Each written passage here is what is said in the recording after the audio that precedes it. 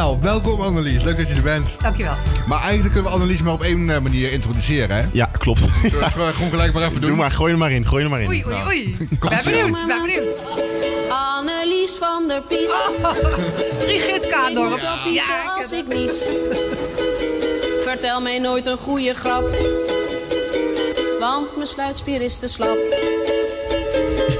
Annelies Ja. van Vries. Ja, Brigitte. Ja, welkom Annelies. Leuk dat je er bent. Dankjewel. Ehm, ja, zoals je net al zei, je hebt nog nooit eh, op de radio iets gedaan verder.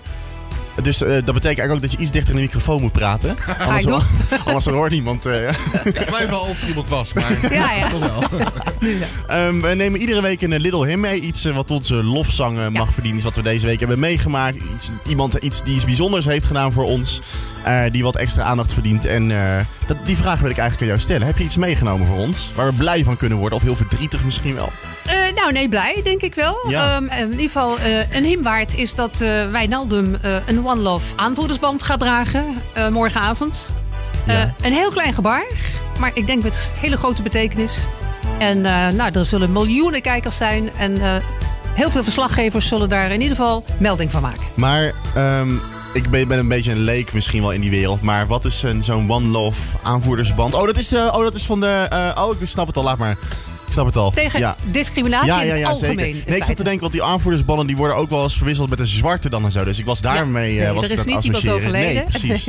Nee, inderdaad. Nee. Jawel, jawel. Oh ja, daar komen we straks nog op. Komen we straks nog. Ja, ja, Oké, ja. oké. Oké, eh, mooi.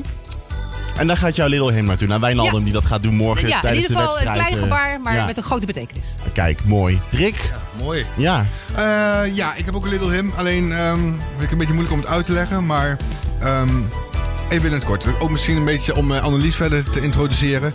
Jij bent ehm, redacteur hier bij RN7. Verslaggever. eh, voor het nieuws voornamelijk.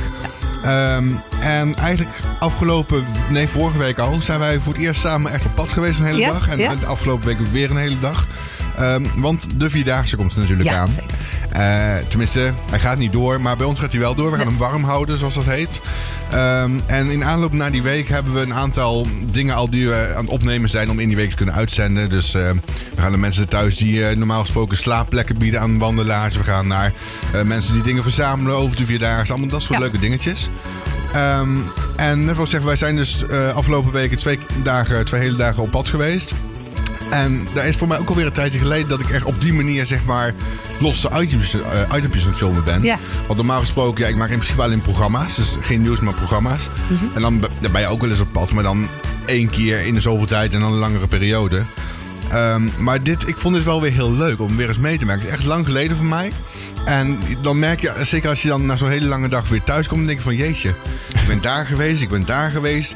Ik ben in Elst op de zolderkamer van een verzamelaar geweest. Ik ben in Nijmegen in de kruidtoren geweest, die, eh, al, die iedereen kent, maar waar ik eigenlijk nog nooit binnen was geweest.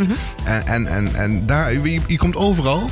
En s ochtends als je van huis gaat, weet je eigenlijk nog niet precies waar je terecht komt. En s'avonds kom je thuis en denk je van, goh, wat een dag was het eigenlijk. En dat vond ik eigenlijk zo leuk om er eens een keer mee te maken. Ja, en dan leuk. ook eens een keer met jou. Ja, Dus daar was hij buiten een hele leuke dag, moet ik zeggen. ja, dat vond ik ook. Ja. Nou, tussendoor nog even lekker geluncht uitgebreid. Ja. nee, ja, ik vond het heel leuk. Ik vond het heel gezellig ook. En eh, da- daar gaat mijn Lindel helemaal eigenlijk naar uit. Om, om dat eindelijk weer eens een keertje zo te doen. Zo'n zo'n dag waarvan je niet weet wat er gaat komen. Leuk zeg. Ja. En jij presenteert het dan, eh, Annelies? Ja. Of wat eh, je interviews, Ja, interviews Ja. van de, wat Rick al zei. Mensen die. eh, eigenlijk zijn dit allemaal interviews met mensen die achter de schermen werken. Kijk, dit jaar gaat de Vierdaagse niet door. Maar daardoor, eh alle andere jaren was altijd de aandacht voor de lopers. Eh, en nu is er eigenlijk eh, aandacht voor alles wat erachter zit. Dus Oh. niet de lopers staan in de belangstelling, maar de organisatie die erachter zit. Wauw. En dat zijn echt, eh, als we bijvoorbeeld kijken naar zo'n scoutingkamp, waar 80 ehm, scoutings eh, kunnen eh, overnachten en hun natje en een droogje krijgen. Daar zitten 70 medewerkers eh, zijn er voor nodig om dat uh, draaiende te houden. Nou, dat is leuk om dat nou eens een keer te laten zien. Van die dingen waar je normaal gesproken niet echt bij stilstaat. Nee, maar... ja. En dat Ja. wordt allemaal in de Vierdaagse week op eh, RN7 uitgezonden Ja. dan. eh. Ja. Oké zeg, leuk. per dag. Oh, Annelies, spannend. Ja, zeker. En jij, Mikael, heb jij nog een leuke Little Him? Nou, die van mij die is lekker basic, maar die gaat uit naar alle evenementen die, de- die eh, hard hebben gewerkt om nu weer tijdens die openingsweek, de openingsavonden, weer iets neer te zetten. Want als ik ook zie, eh, ik volg dan heel veel evenementen en dan ga ik even kijken van wat gebeurt daar dan precies. Die zijn zo hard aan het werk geweest, al maanden natuurlijk. eh, ook eh, in onwetendheid van wanneer mogen we open, wanneer mogen we weer wat gaan doen. En dan nu staat het er gewoon. En ook gisteren zag je dus ook al heel veel eh, evenementen. Bijvoorbeeld Reinier Zonneveld, die draaide in Maastricht was het volgens mij. Ook weer met een hele grote organisatie.